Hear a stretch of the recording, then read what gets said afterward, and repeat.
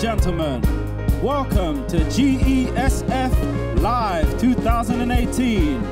Please welcome your host, Mr. Rory Bremner.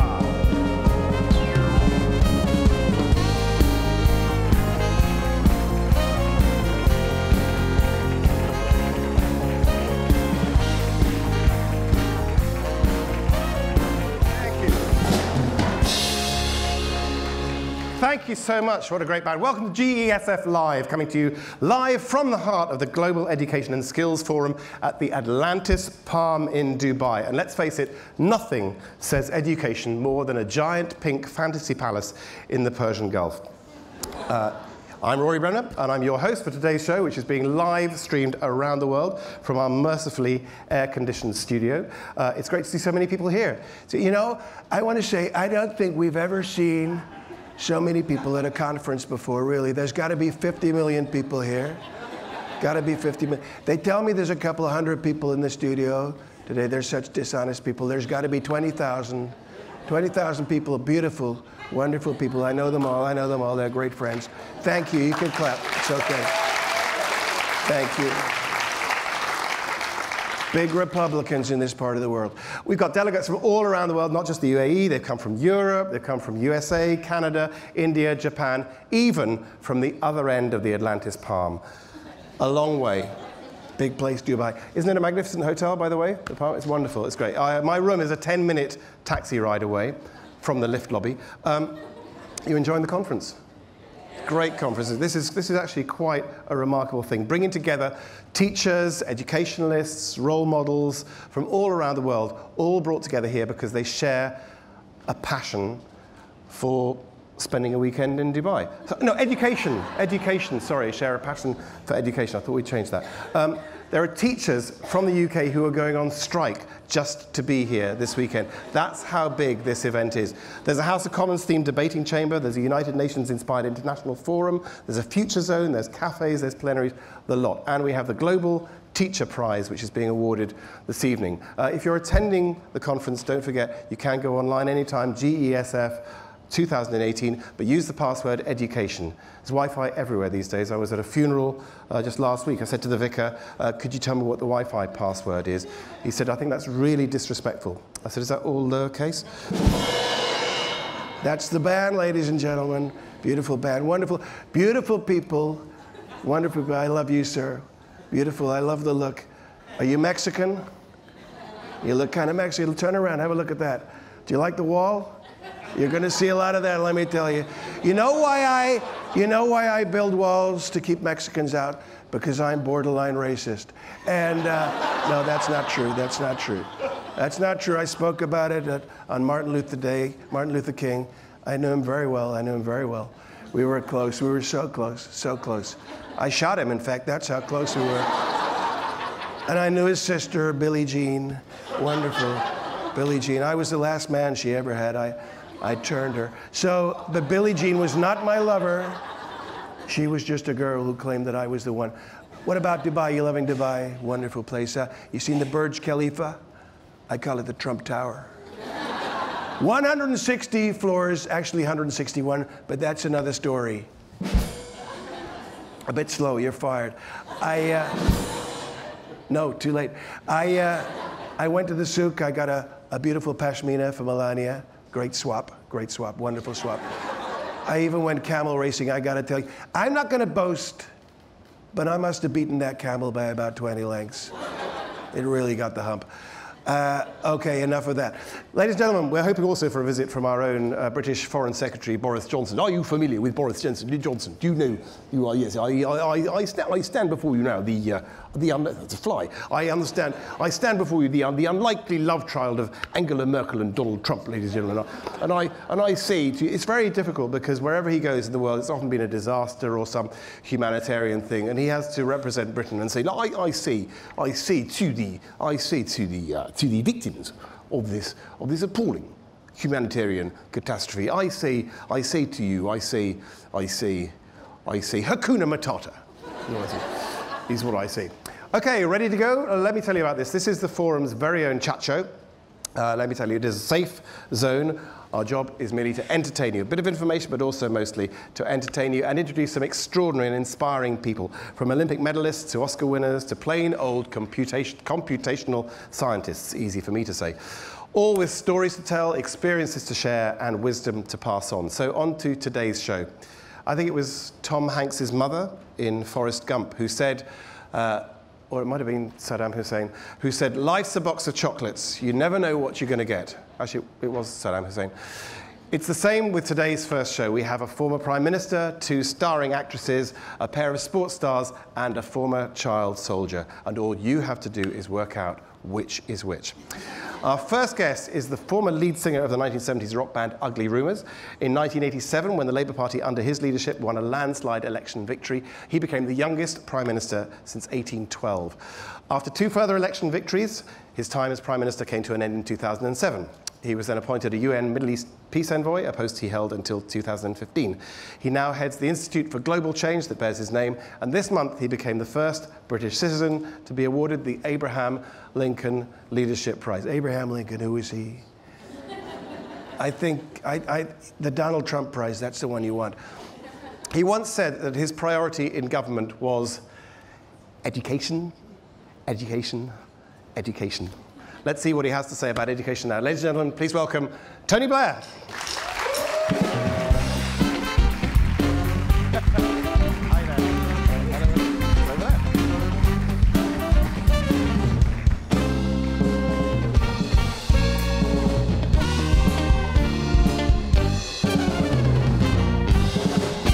There you go. Does that bring back the memories of the band? no, because they were in tune. That's very good. I heard you talking just now. How's, is the voice holding out? Is it okay? Yeah, just about. Because if it gives up, I can, I will do it for you. And you do it better than me. but you're looking very well. Is, this, is that the Tony Blair Foundation? Or is that. Thank you so Look, much. I, I, am well aware that I am the straight guy on this show. You're not the straight guy. I remember that weekend in Vegas. And. Uh, but what goes on tour stays on tour, Tony, let me tell you that. Can you remember That's the last... Correct, by the way. you have to correct it now. Can you remember the last time that, that we met? Yes. I made that big an it was it was in the, it was in the south of France and we ended up playing tennis. It was very bizarre. I'm was, sure we met after that, but uh, we did play tennis. We did play tennis, and it was it was me and Tony Blair against Dave Stewart of the Eurythmics and Bryan Ferry. How bizarre is that? And and Tony turned to me afterwards. He said, Gosh, we're in the wrong job, aren't we? but you went on to do many, many extraordinary and wonderful things. Tell me, uh, education, always been a passion of yours. Uh, you're a regular here, aren't you? What, what, what's your involvement this time? Uh, i come every year because this has now become the biggest education conference in the world. Uh, education is, remains a passion. Um, and what Sunny Varkey and his team have put together here is incredible. When it first started a few years ago, by the way, I mean, it was quite a small thing. Um, I was always pretty skeptical that they could build it into what it's become today, but it's probably, it's kind of the Davos of the education world today. And, uh, you know, it's wonderful to have so many people. And this is, this is the first time this has happened. Yes, right? it is absolutely. Possibly the last, I think, actually. Uh, but education, do you think that, that is the key to, to, the, to the future? Because it's, it's, it's an extraordinary world at the moment. Right, it's the, it's the great liberator. It teaches people how to use their innate potential and ability. And if you look around the world today, there's no country that can succeed without educating its people. And particularly in a world where technology is going to revolutionize the way the world is, now a whole new generation of technology. If we're not educating our young people, we're not giving them the chances in, in life. And, you know, I was really lucky. I had a very privileged education. And, you know, frankly, without it, I would never have gone on to do all the things I did. So, you know, the biggest injustice you can visit on a child today is a poor education. We heard yesterday from Julia Gillard who said that to empower a woman, you educate a girl. And I think that also, in a nutshell, said the, the importance that education has. Yeah, and in many parts of the world, still um, education of girls particularly is frowned upon or they don't get the same access to schooling. Um, but again, there's no country that's going to succeed if they don't use the talents of all their people, and that includes the talents of their women. You talked earlier on, you were uh, in a session with George Osborne, and talking about um, breaking down myths and prejudices. A, a couple of, uh, particularly uh, around Brexit and around politics generally. Um, for example, people in Britain, they think that, that 24% of benefits are, are, fraudulently claimed, but the real figure is less than 1%. And people talk about, you know, health tourism, and, and, and but that's less than 0.5% of the National Health Service budget. Do you see it as a, a big part to, to, actually educate people in another sense, and that's to, to break down these myths and prejudices? Yeah, it's, it's, you know, it's very hard to have an informed debate without the information and the information being valid. So, I mean, I think one big thing today is because so much is done through social media, the, the danger is you, you, you end up just looking on social media at the things that you know, you agree with or reinforce your prejudices rather than opening your mind to, to the possibility of thinking differently. But you know, if, if we want to protect democracy today, and it will be more under threat, I think, going forward than, than at any point in time in my, my lifetime, then you've got to have the ability to, to have an informed debate uh, based on um, a media that tries to be impartial. And part of the trouble is today is you've got you know, two groups of people, very polarized politics. Yep. You see this in the US. Mm-hmm. You know, people are so polarized today. Um, they're not talking to each other, listening to each other, or liking each other. So what's the way through that? You've got to, you've got to go back to building bridges, um, to, to going back to, to trying to persuade the people who disagree with you to agree with you. But today, a lot of politics is just about stacking up the numbers of people who agree with you already. Do you despair really about the state of the world now? Because you see so much of what Obama did being un unraveled and, and, wound back, and in Brexit, of course, uh, back home, so much of what you believed in is currently under threat and being undermined, and, and Brexit, of course, threatens a great deal of that. It's disturbing, but it's also motivating. Yeah. Uh, because I think you know, the world's made enormous, you take a step back, the world's made enormous progress. We forget this sometimes. You know, more people have been lifted out of poverty in the last 30 years than ever before in human history. All the death rates from killer diseases today in Africa are being, uh, are coming down. You know, there are millions of lives being saved by, by action, by political action. But people in the West, I think this is a Western phenomenon. Yep. You know, people in the West, have, have, they look at globalization, they look at the way the world's changing, and they're becoming frightened. And they're frightened about economic opportunity. Will the next generation do as well as this? And they're frightened by the culture, by the changes. You know, for, for me, I, I, love it when you've got people from different cultures and faiths and yep. races and nations working together, living together. I think that's a great thing. And, but, you know, a lot of people look at it and they get frightened by it. Do you feel in some way, though, that, that you and Obama and others, do you, do you feel in a sense that you left the door open, that there were still people that you didn't reach out to, so that when the populists and the demagogues came along, uh, the, the, territory was fertile and people, people went with them and almost rejected everything you stood for? Yeah, I think, I think to a degree, you know, you, you, you've got to look at how we got to where we are, but I, I think the most important thing now is what do we do about it? Um, and I think that the really important thing for people in the West to understand is that, you know, for all the challenges, uh, we're never going to make progress if we end up blaming people, if we mm-hmm. end up, for example, saying that the problems of the world are all to do with immigrants. This is immigration, if it's properly done, properly controlled, brings enormous energy and dynamism and vitality to a country.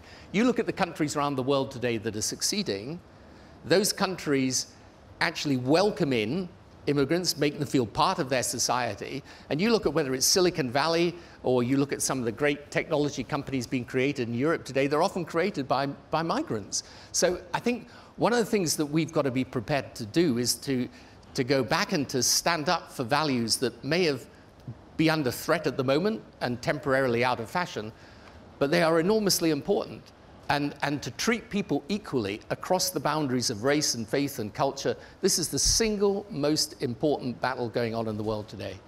Do you think that the, the, the problems got bigger or the politicians have got smaller? uh, look, it's always easy to say, by the way, since I left office, the one thing I realize is it's easier to give the advice than do the job. So, yeah. um, but no, the problems are big. There's no doubt about that. And the 21st century is, look, it's like all centuries. It's going to, it's going to require really outstanding leadership and the defense of the right values. Do you, do you wish you had a bigger platform to do? Because I have a real sense with you that there's a lot of unfinished business, really. And, and I wonder somehow if, if that, the whole Iraq episode, the fact that it, it sort of drowns out your voice at a time when, in some ways, on education, on Brexit, and other things, we need your voice perhaps more than ever. Yeah, but you just got to you've got to keep going with, with, with what you believe in. And you know, politics is a difficult business. Uh, and you know, there, when when we had that conversation all those years ago, you know, often in politics it's it's hard because you're you're taking difficult decisions and. Um, the very nature of politics can be very controversial but it's also immensely motivating. And today, you know, I have to uh, I'll be honest, Brexit motivates me because I think this is a, a profound historic mistake for the country. And if there's any possible way of avoiding it, I want to play a part in it. And no matter how small my voice is, no matter how small my part is. Okay. Well, I, scandalously, uh, we only had 10 minutes, so we've run out of time. this is I could talk for two hours. Uh, thank you very much for coming, dropping in to see us, and for being part of this education forum. Tony Blair, thank you. Thank you very much. Great to see you. Thank you.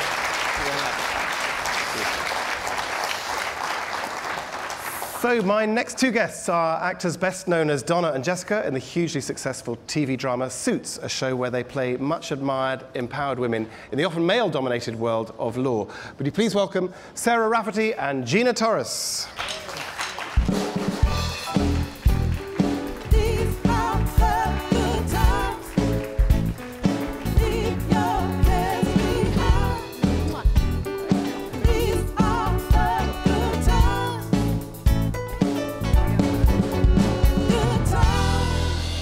There we go. Lovely to have you live on the GESF sofa. Tell me what, you, what brought you to this conference. What are you doing here? well, we were asked. That's always a great start, yes, let me and tell I, you. I must confess, it was the first time that I had heard of this conference. Mm -hmm. And I looked it up and did my due diligence. And it, I mean, it's extraordinary. It's a thing. Done here. It's a thing, yeah. It's definitely and, a an thing. incredible place to have it be held. Okay. Yeah. Uh, so tell me, you're, you are blazing a trail, both of you, um, e even ahead of the Me Too movement, because you, you, were, you, were, you, you, the empowered women, strong women in suits. Before all that, um, the characters that you play in Suits are strong women. How do you feel about that, both as actors and as women? So I'll start with Sarah, maybe first. Um, you know, it's been very exciting to hear the response of young women to our characters as we've been on the show for so many years. We've mm -hmm. had a lot of feedback about it. Um, and, you know, I've really been thrilled that people are connecting to the fact that we are strong women and um, we're telling these stories. It's, it's good as an actress, Gina, as well, isn't it? To have oh, it's those fantastic. Parts. It's fantastic as an actress. You know, you, you always want to grow. You always want to do things that.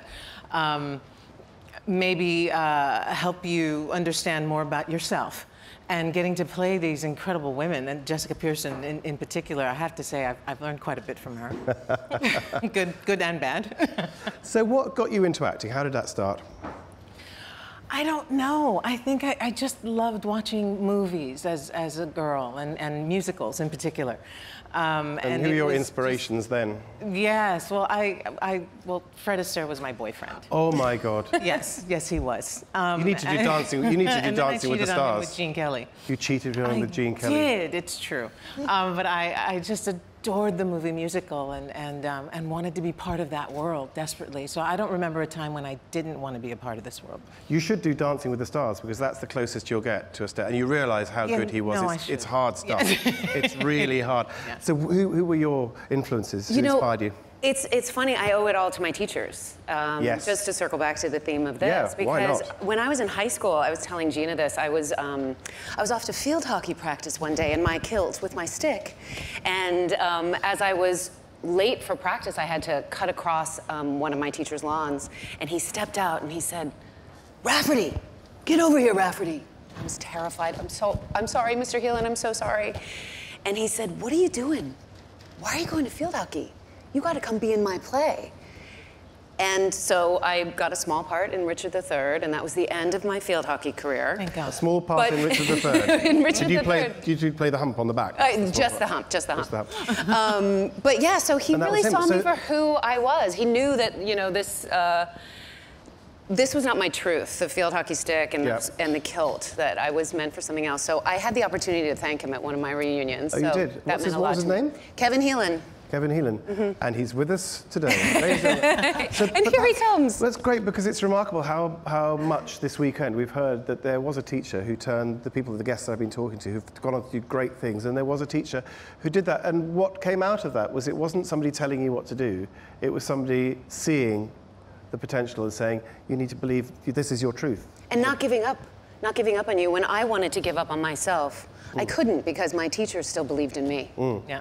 Yeah. Absolutely. We discovered the truth. What was, what was that truth about? Was it that you were born to act, that you had that, you had that ability? I think it was a passion for telling stories and, um, and an empathy, I think, Yeah. that's important to bring to the craft. Yeah, I remember uh, I had a music teacher. Uh, he, uh, jazz. His forte was jazz. He was actually a percussionist. And somewhere. We could do with one of those here, actually. You see, That's brilliant. And uh, and we were all very. It was a it was a um, an art school. So Yep. we we were there and and we were having class, and he said, "I have to just tell you, if everyone says you're crazy, uh, you're out of your mind, yep. but you still want to do this anyway, then you're doing the right thing." Wow. And I thought, well, there's permission that you never get. Everyone's like, no, you're out of your mind. That's not going to work. Go do something. Go be, be a teacher. Yeah. Well, it's, it's get, good. get an actual profession. It's good when you. somebody gives you that license, unless, of Yeah. course, you're in the White House. It's, it's not quite so good in that. Um, you played Zoe Washburn in Firefly, a I did. huge cult following. How does it feel to be in a show which has a following that, that, that's that big? I, I can't believe that. I mean, we have a whole new generation of fans because the original fans have now had children. Um, who have who are actually younger than we have been off the air, so it, it's a little odd when I sort of meet them. Um, it's an incredible show. It was ahead of its time. I got to play yet another incredibly strong woman, Yep. um, and so to have that be part of my legacy is a lovely thing. Cycling back to education, because you were very good at that before, um, you're the youngest of four sisters, is that right? And mother of two young daughters. So that gives you a particular perspective, doesn't it, on, on education. Um, so who had the hardest job, your mother or you? Um, certainly my mother.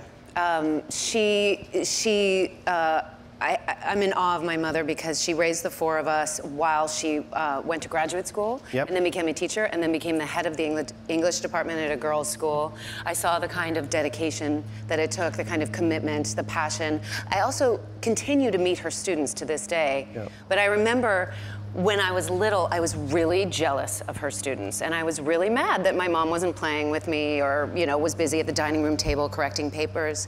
And then I remember it was seventh or eighth grade when I started to meet her students, and I saw the look in their eyes when they talked about my mom, and I saw that they knew a, wh- a whole different side of them. She was somebody who inspired them, Wow. um, and that was really incredible. And I got to bring my daughter into her classroom, so. So she's still teaching and your daughter? She she retired a couple of years ago, but before she did, I was able I was pregnant with my second, but brought my first daughter into her classroom so that she could at least have seen my mom, you know, be the star that she was. I'm so thrilled to be here because we're you know, this the, the Varkey Foundation has done an incredible job elevating teachers and education, and they really are our real stars. And I know that firsthand from observing my mom's life. So it, well, it's I great get to have somebody emotional from a talking about teaching it. family. It's really good. Gina, what was your childhood like? Oh, I grew up in New York City, in mm-hmm. the Bronx. Yeah. Oh, I got a Woo! We're in New York Dubai, and you got a woo. I know. They're, they're Googling it right now. Where is Bronx? I don't know. Where is this place? Where is this place I hear she talk about? North of Manhattan. I'm joking. Want to get out of here alive. so, Bronx childhood. A Bronx childhood, uh, first generation Cuban American. My parents immigrated uh, to the States from Cuba before the revolution. Um, and it was, we lived in a house full of music and, and, uh, um, and a lot of love and a lot of good food. That's what you want, isn't it? Yes. I mean, dance is right through you. I mean, you love Fred Astaire. It's in your background. I mean, you, you're going to have to go and do that. That's is- is- Uh, yeah, I don't think so. In all your you don't think so? That's the that's your next role. You need to you need to play. I don't know who would who would, who would actually what, what what's the next part that you would love to play, or if you, are you working on something now? Uh, actually, I am working on something. Um, my character, Jessica Pearson, has been spun off from Suits. Oh, she has, yes. She right. has, yes. So, um, so I'll be starting that in the fall, and we'll be following Jessica into a new career in Chicago. And Sarah, for you? I'm staying on suits. Staying on Somebody's Suits. got to hold down the fort. Yes. Okay. we'll keep at it because it's brilliant stuff. Stay with us. We've got more guests. Thank you very much indeed. Once again to Sarah Rafferty and Gina Torres. Thank you.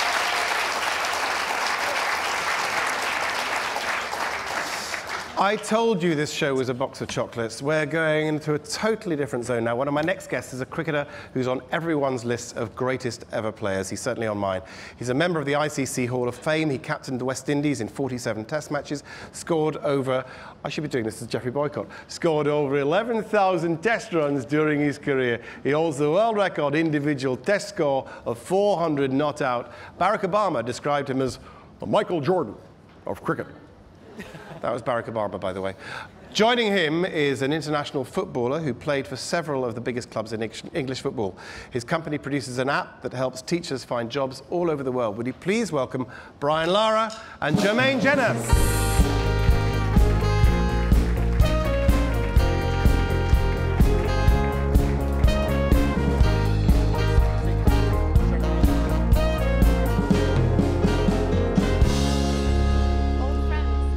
I have to say, Sarah and Gina, cricket and football, two of your big subjects, I imagine. Absolutely. But these are global stars. This gentleman here, I'm a, so do you remember the last time that we met? Oh, you were trying to remind me, and um, you haven't convinced me yet. I haven't convinced it. It was at a cricket match, and you were batting, and I was bowling, and you missed. And it hit the stumps, and I was the most unpopular person in the world because they hadn't come to watch me bowl; they had come to watch you bat. But I mean, it was the Malcolm Marshall testimonial thing, uh, and I think you, I think you were quite emotional about that. Uh, well, when I say emotional, um, the hospitality was very, very good. It's very unlikely that you, you even knew what was happening. But um, tell me how about uh, you guys, how you first became friends.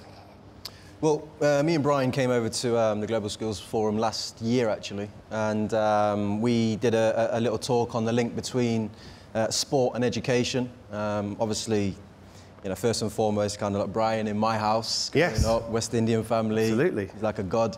Um, and you know, so for me to meet Brian and other sporting greats at that point was, was fantastic. But we, yeah, it was just our, our, our journey, I suppose. What's the age difference between you? I mean, was he already scoring Oh, yeah. centuries and stuff I was like at that? school, yeah, I was at school. So you met him when you were how old? 34 last year, yeah. How old are you now, Brian? I'm 48. Oh, not quite old enough to be his dad. not, not, not quite. So did he inspire you in, in, in the sporting Oh, I mean, how, sense. how can you not be inspired? Um, and I suppose you know that was just the sporting side of things with with Brian. I think what you know, having spoke to him a lot last year and listening to his story, Yeah. for me, that's what always interests me most. You know, kind of how you get from that place of almost having nothing and creating uh, a legacy which he you know which he created is what what fascinated me. We must talk to Brian about that. I wish he was here. Oh, you are. You are. You're here. Tell me about that childhood. Was it a difficult childhood, and was sport the way out of it, or was it just it was that was always what you were doing? You were always playing cricket as a child, but you happened to be very good at it. It was a fun uh, childhood. Um, three-bedroom house with 11 of us. Wow. Yeah. So and, um, and my biggest sister said, you know, she needed a room for herself, so the rest of us had the back room. But um, But 11, a- that's a cricket team right there. Yeah, we had a cricket team, and I had to bat at uh, my position, which was number 10. You know, and I had to work my way up the order. Can you imagine playing against a cricket side that has Brian Lara batting at number 10? So, can you imagine that, Sarah? And you're thinking, keeps me up at night. Keeps me up at night. you put your best batsman in early, and number 10 is the last, so uh, that would be a bit of a waste. Because this guy, let's, he broke the world record for the most runs scored. Not once, he went out, he's got 375 in Antigua, and then some Australian, uh, what was it, was it Hayden? I forget his name. He went and got, what's it, he got 300 and, 380. 380. Did he stop there, or was he out? Uh, he was out. He was out, okay. And Brian just thinks, well, I'm going to have to break the record again. Gets 400. That's in a test match. But even big, even more than that, in a county game, it was at 501, wasn't it? So just how do you, the concentration? That's that's the key there because you're batting for hours and hours and hours. How do you maintain that? Oh, well, I, I think um, my f- very first 100 for the West Indies, um, we had a rain break and I got off at 121, I think. When I got into the dressing room, my coach at the time was Rohan Kanhai, another great West Indies Yes, of the past. And he said to me, set your stalls out. I said, what do you mean? He said, your next inning starts at zero.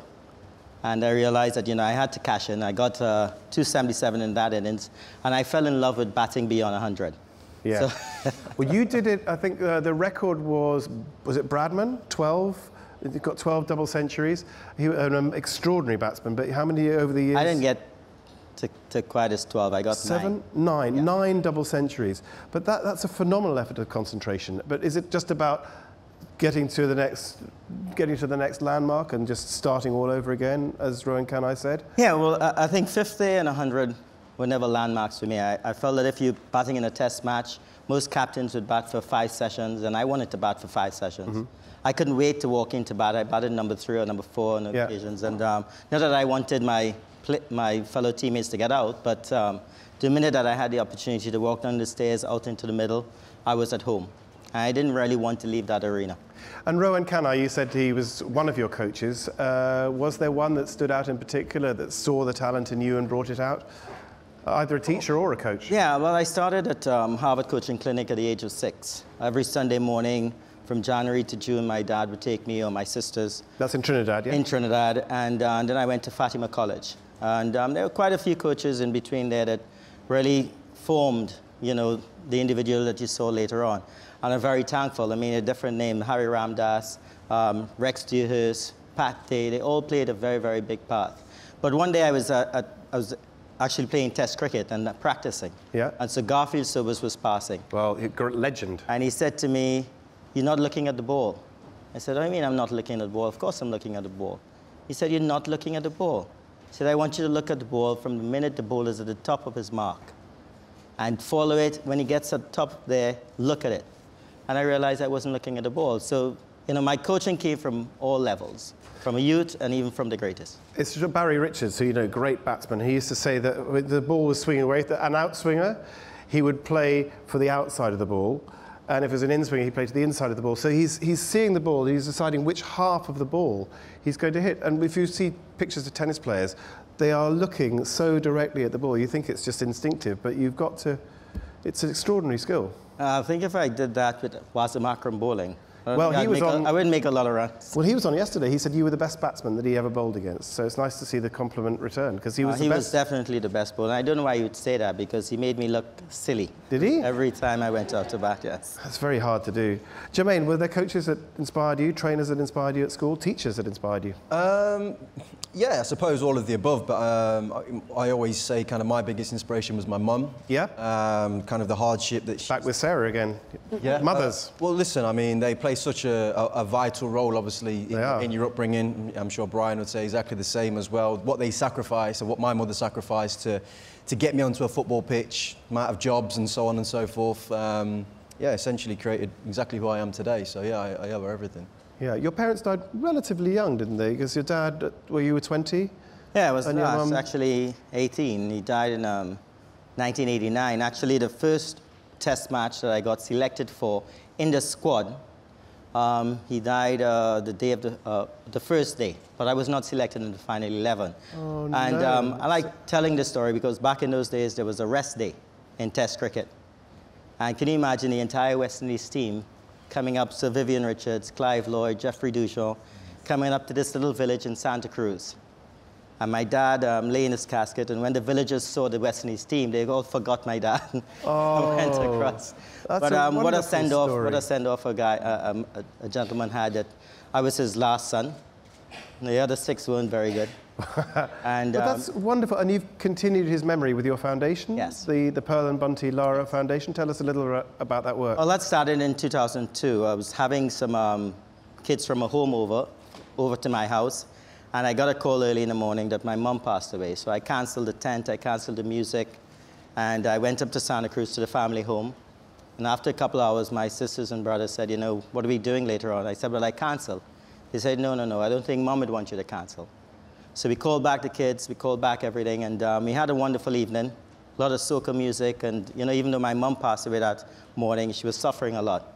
And from that point in time, we uh, formed the, the foundation. Foundation. And, um, it's worked uh, for the last I know, 17 years. Went on to do more more inspirational work. Yes. Um, Jermaine, you've got an app that works for teachers, haven't you? This is this is what your company's doing now. Uh, yeah, well, so when I was playing professional football, I decided quite early on that I wanted um, a business once I'd retired. Because you played for more clubs than he scored runs, didn't you? I played for a few. I played for a few clubs. I mean, I was at Tottenham for the biggest part of my career, which was, you know, a seven- Oh, to the Spurs. There's a There you go. woo, there's They're in the Spurs supporters. There you go. There's always, there's a Spurs fan everywhere. Tell us very quickly about the app because we're running short of time. No, look, it- very, very quickly. Yes, look, it's, um, it was our way, I suppose, of allowing schools to connect with teachers directly. You know, sometimes when it comes to um, a lot of that connection, when someone gets in the middle of it, it can cause a problem. So Yeah. yeah, we created this this platform where you know all all schools all over the world can connect with teachers. It's called. CVU'd, C-V-U-E-D. CVUED. Okay, I'm going to cut you short there because we have another guest to come on. Thank you very much indeed.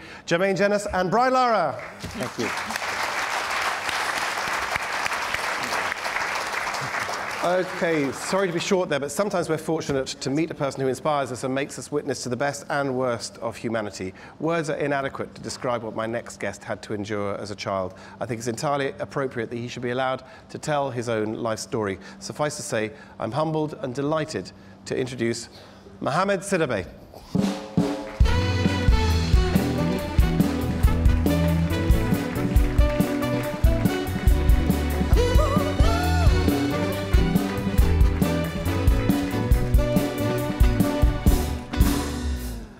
Thank you for joining us, Mohamed. Uh, we've had stories of happy childhoods, uh, sons, daughters of teachers, happy childhoods in the West Indies. Yours was very different. Yes. Tell me about it. Um, I was born in a country where, before I was born, the country was already engulfed in a, in a civil war. And This was Sierra Leone. this was Sierra Leone, a small country on the west coast of Africa and a former British colony, like half of the African countries. Um, and so when I was five, the rebels came to my village uh, and they decided to uh, kill my entire family. And they took me with them. Um, and from then on, I was, well, I, I did whatever they told me to do. How many were in the family? It was me, my mom, my brother, my sister. so they killed your mom, your brother, and your sister, and Yes. they took you. And the way it was done is, it, the groups were like, was separated, uh, and no one knew who was going to be part. Uh, the group that was going to survive and the group that was going to die, and so it was completely uh, random. Uh, and I don't know why it was that I wasn't killed, um, but all I knew is that um, my life was changed, and So it was instead of being killed, you were gonna you were gonna fight for them. You were a child soldier. Well, yes, and so they took me. I had this illusion that I, I could run away. So six months when I was with them, I tried to run away, uh, and I was captured. Uh, I was beaten and burned. I have a lot of scars on my body, uh, and I was left there to die. But I somehow survived, and I was told that if I ever try to run away again, um, I'll be killed. And I lived in a world where. Uh, it's a very thin line from being a forced perpetrator to being a victim. And did they, I mean, they put a gun in your hands at the age of five? Yep, and I mean, AK-47, the danger of guns like AK-47. An AK-47.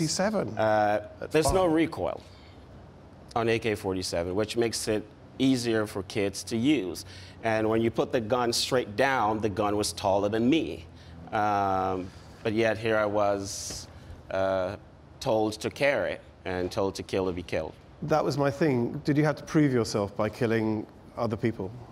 Well, you don't really have a choice. Uh, when they tell you to shoot, you shoot. Um, because I lived in a world where your best friend at 230 uh, could kill you at 231 if uh, they tell them to kill you. If someone gives you an instruction, says shoot that person, and you refuse or you question, uh, they're going to get someone else to shoot that person, and then they're going to get that person to shoot you. So even as as a child, you've got to make a decision in your mind that even though what's happening around you is horrendous and horrible, that you have to you have to fight, or you're, you're the next to be killed. Well, it's not really so much of a decision. I mean, all the decision is, is Sophie's choice, really. Yes. Yes. Um, and so it's not really much of a decision because all the decision has been uh, made for you. You're just uh, a machine um, told to do, uh, doing what you're told to do and nothing else. Do you have? Are you able to keep even a small part of your mind that is recognizing that this is crazy, or do you have to become that person? sometimes when you grow up in certain situation, um, you don't you don't dream.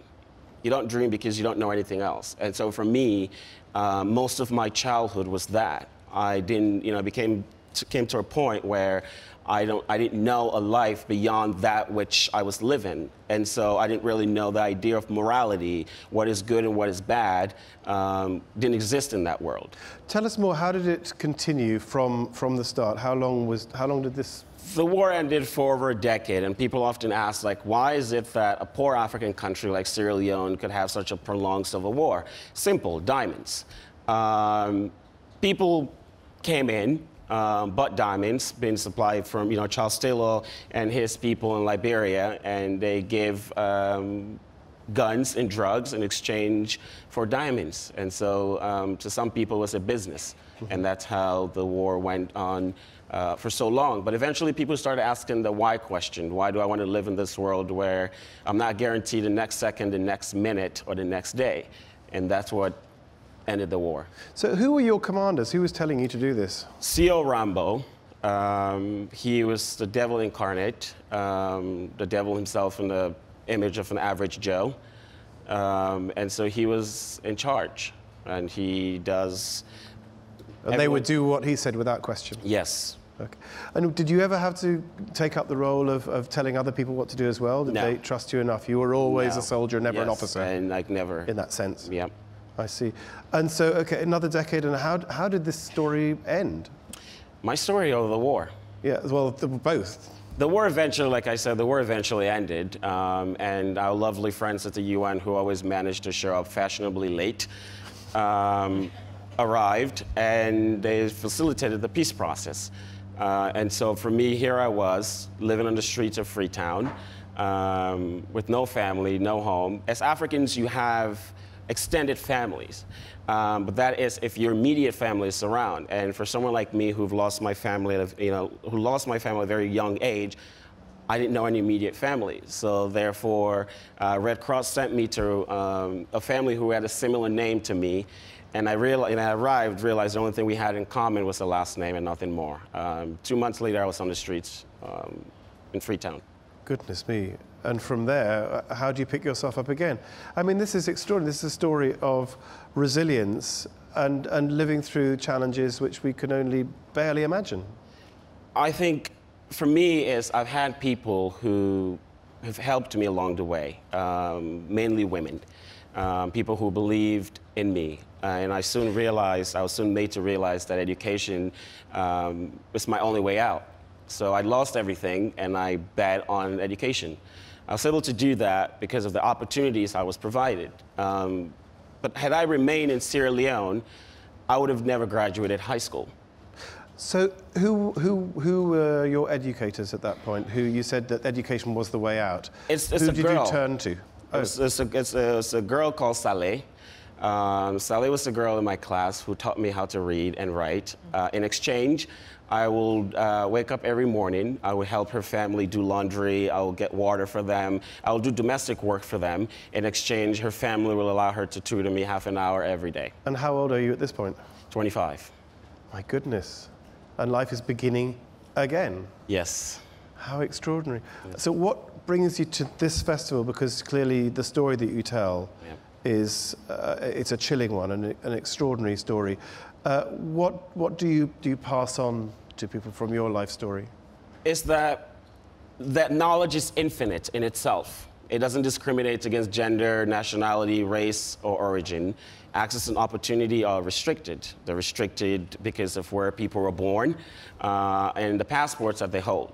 And so, what I bring to these events is that education is our only way out imagine trying to control a group of, imagine a football stadium yeah. of youth or hooligans, 50,000. It's very difficult to control them. Yes. Now imagine half a billion young people around the world who do not have education. How are you going to control them? You can either use their minds and help bridge the gap, or the world is very yeah. unstable And you've almost got to do that one child at a time, really, Yes. because you know they're all different, and, and I mean particularly now in the world there is so much conflict going on in the world, and there's so many individual children who are being scarred in one way or another by then. Do you do you meet a lot of other children who've gone through those, got not just like here where we're uh, it's mostly teachers and educationalists, but Yes. do you actually meet a lot of children who've been through? I, I have, um, and you know, running a program. I run a small um, project in Sierra Leone, um, sending kids to school, and part of the, the stipulation for the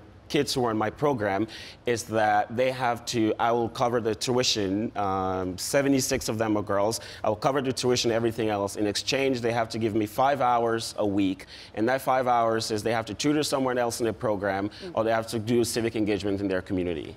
Um, and so that's how I'm running the.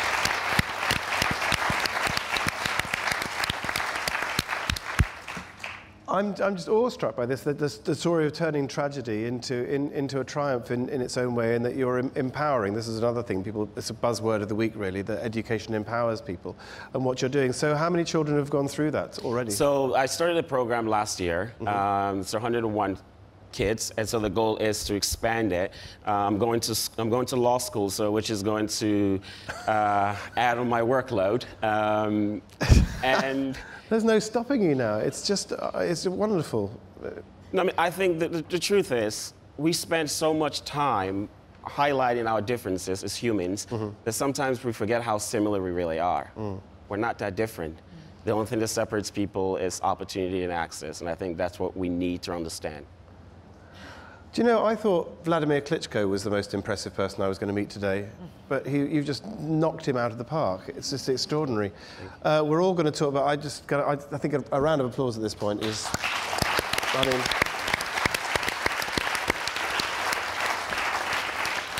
I, others guys here, I mean, uh, had you heard of Mohamed before? Had you heard his story? Sarah, you're nodding. You, Yes. you had? We met yesterday. okay. And I mean, what, what can you say to a story like that? It's, it's, it's beyond our experience, isn't it? Beyond our imagination almost. It, your story is incredibly powerful. I mean, uh, you know, and it makes such a, a, a beautiful case for accessibility. Um, you know, it's, it's our moral imperative at this time to give access to the millions of children who don't have access to school. Absolutely. I mean, uh, not to be, but as we've got sportsmen here as well and actors here, I mean, we talked about education.